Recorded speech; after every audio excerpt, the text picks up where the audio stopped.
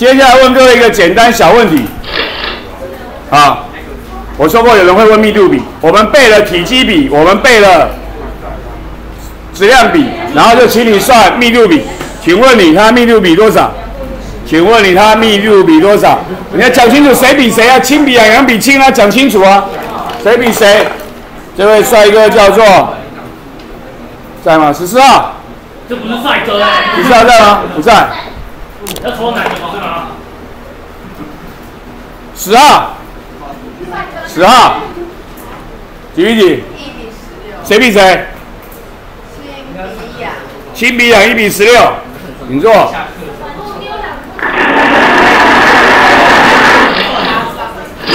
好，密度又是质量除以体积，然后就往里面带，背了体积比，背了质量比，数字往里面带，往里面一带完，答案就算出来了，一比十六，来一比十六，OK，要做练习十。来练习十一，请问你，我们说我们要去帮忙导电，加入导电，请问你，我们加谁帮助导电？加谁去帮助导电？呃，现在要找的是男生，三十，应该是猪吧，我觉得。三十，猪，请坐下，答案选猪。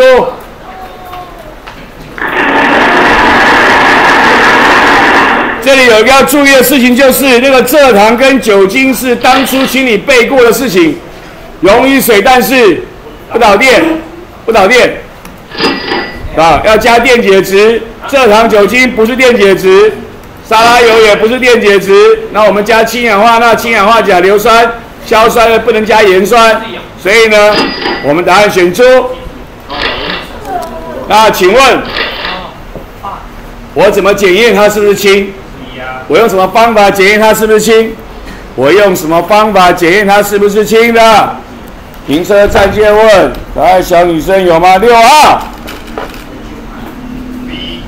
我用什么方法检查是不是氢？B，请坐下。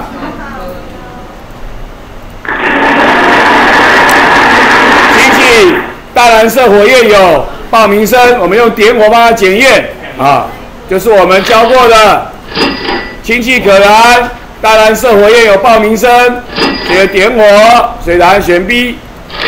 停车站借问，A、C 猪是检验谁的？A。A 这个动作检验谁的？A 这个动作是检验什么东西的？三十四，二十四，一号。二十二。哇！二氧化碳，二氧化碳，不是三氧化硫。我不会。你不会？二氧化碳。啊？二氧化碳啊！哎，二氧化碳。请坐。你给我看一下。二氧二氧化碳通过澄清水为水，产生白色混浊、白色沉淀、碳酸钙沉淀。请问你 B，请问你 C 是检验谁的二十四号。？Eleven。Seven Eleven 啊？检验氧气的，请坐。氧有助燃性，氧有助燃性。请问你猪是检验谁的？猪是检验谁的？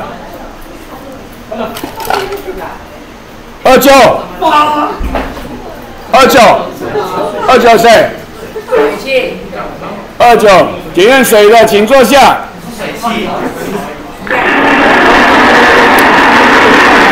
你会背有水氯化亚钴什么颜色？无水氯化钴什么颜色吗？忘了。有水是粉红色，没有水是蓝色。OK。请问你谁对？谁对？谁是对的？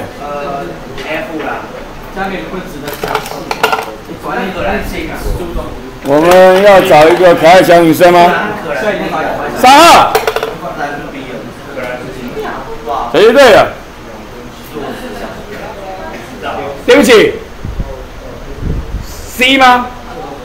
你先用手比我看，你们先选几啊？B 二，你坐。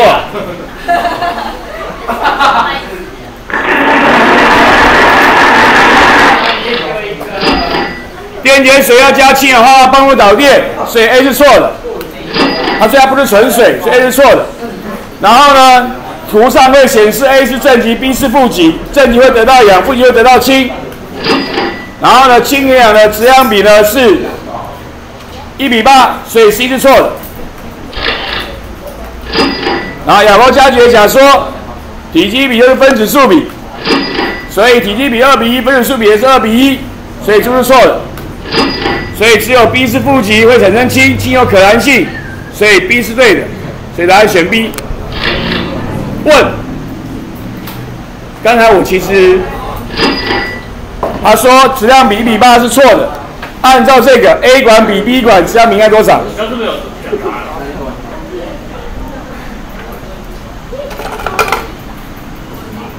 珊珊呃，七比一。啊，二比一，请坐。这问的是质量比，不是体积比。氧比氢是八比一，这就是我们的练习，把该背的背完就会了，OK 吗？OK。